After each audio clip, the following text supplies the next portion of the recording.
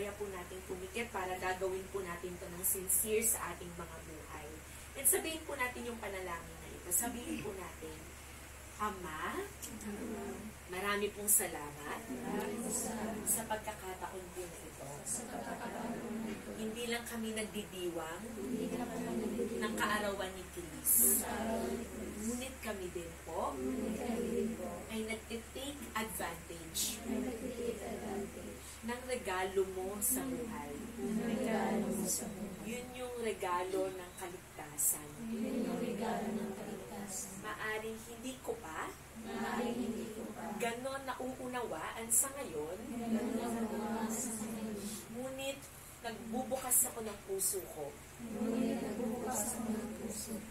at inaanyayahan kita, Jesus, na pumasok sa aking buhay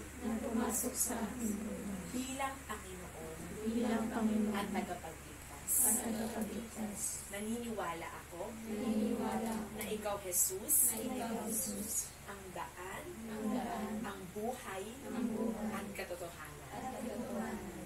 Ay konektado sa iyo, Kung ako ay konektado sa iyo, kung ako ay patuloy na susunod sa iyo, kung ako ay patuloy na susunod sa iyo, nararanasan ko ang totoong buhay, nararanasan ko ang totoong buhay na ganap, buhay na ganap, kasiyasiya. kasiyasiya. Salamat sa kaligtasan. Salamat sa Tulungan mo kaligtasan. ako Tulungan mo ako makilala at kilalanin din kita. na makilala at kilalanin din kita. Salamat sa pagmamahal. Salamat sa pagmamahal sa.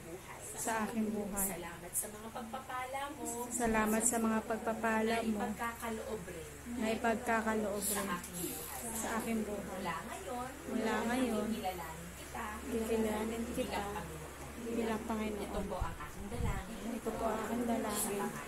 Sa pangalan ni Jesus. Pwede po ba tayong pumalakpak? Alam niyo po ba, kung pinanalangin niyo po yung prayer na yon, tinanggap niyo rin po yung regalo ng kaligtasan. Sabi ko nga po sa inyo, a person who is born once will die twice. Will die, will die, sorry, twice.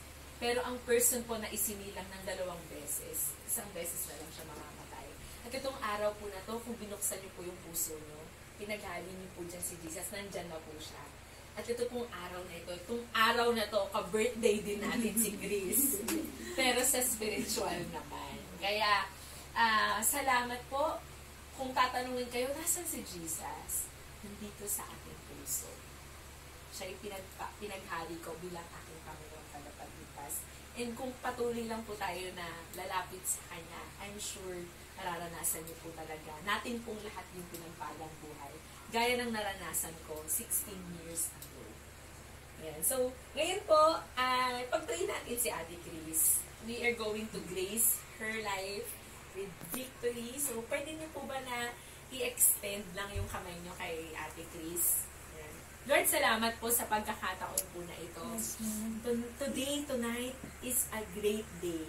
Yes, Kasi Lord, hindi lang siya naisilang eh. Hindi lang namin nire-remember na naisilang si Chris. Yes, But tonight, Lord, kami ay tumanggap sa inyo, Jesus. Yes, And there is a great celebration in heaven. Yes, Lord, Lord. maraming salamat. We pray that you will bless her. Yes, Al- Lord. alam ko, Panginoon, na ang mga anak mo, ang mga tumatanggap sa iyo, Jesus, ang sumusunod sa inyo, Panginoon, Lord, Yes. sinabi mo sa inyong salita, you will not disappoint them.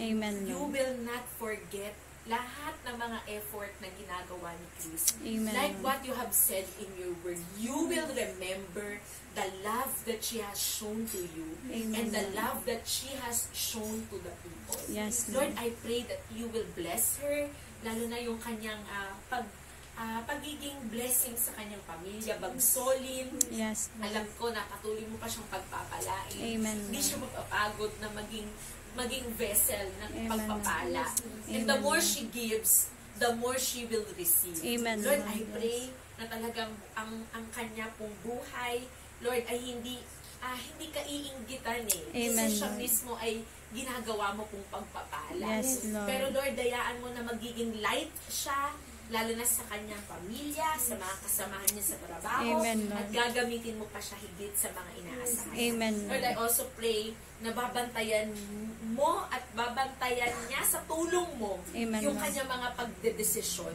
Amen, She will Lord. protect her life. Amen, Lord, Lord. alam ko darating ang pinakamainam na pagkakataon na mali-level up siya. Amen, Lord, Lord. alam ko po na na hindi siya magiging apabaya sa emotional life niya. Amen, Lord. Hindi niya to, Lord, pababayaan.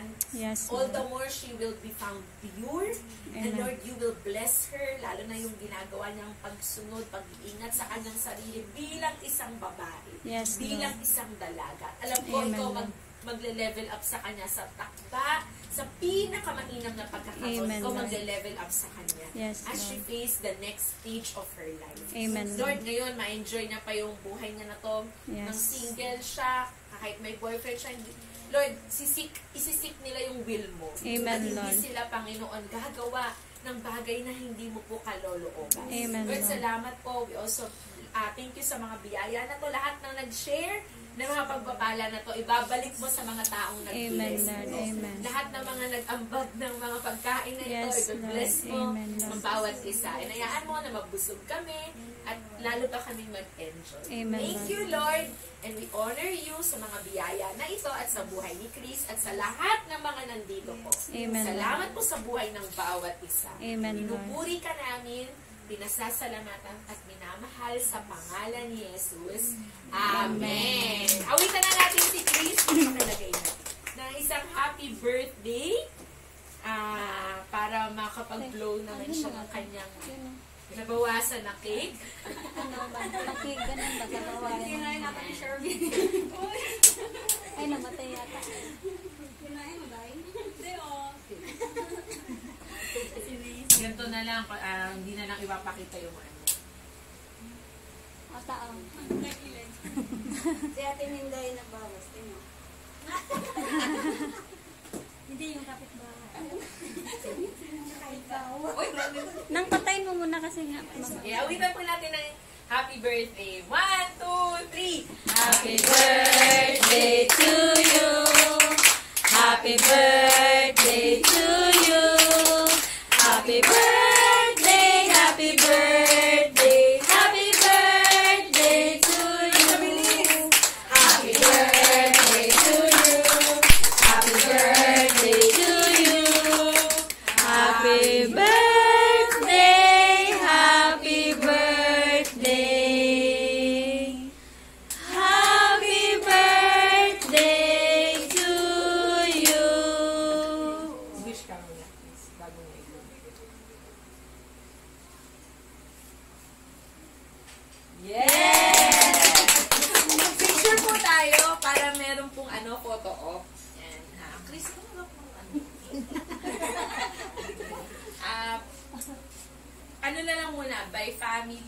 tapos ano, friends na mga ano na, kasama niya.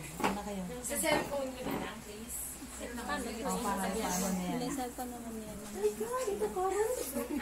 Family po muna.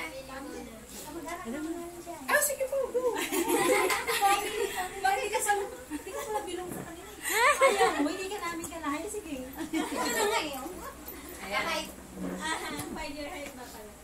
Ah, Ate Arlene, lakas mo ha. Your height ha. okay po. Ready? Okay, one, two, three. Isa pa. Ah, turo niyo si Ate Chris. Yay! Smile! Ayan. Next po, mga katrabaho niya. Kuya, ulit. Oh, ikaw ulit. Alin, alin, Mga alin. katrabaho niya. Ate Sita. Eko. May pinakyaw mo ron? Oo nga, ako nga. Wala, wala, walang tatanong kaya sa Oo, katira yun. Ayan. Ready? Ikaw yata may birthday ngayon. oh. Okay, one. Usap na ka. Ikaw, kuya. Yan. Ready? One, two, three. Isa pa. One, two, three. Smile. Yan. Oh, ano naman, ate? Kapitbahay. Sita? Mga kapitbahay. Oh. Kaya tanggalin ang mask mo, te. Tanggalin ang mask, tanggalin. Saglit lang. Ready po? Si ni Ate Paro.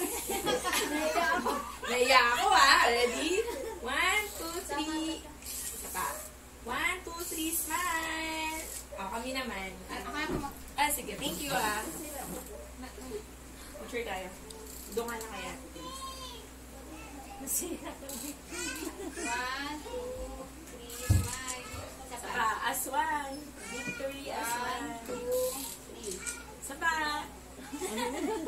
One,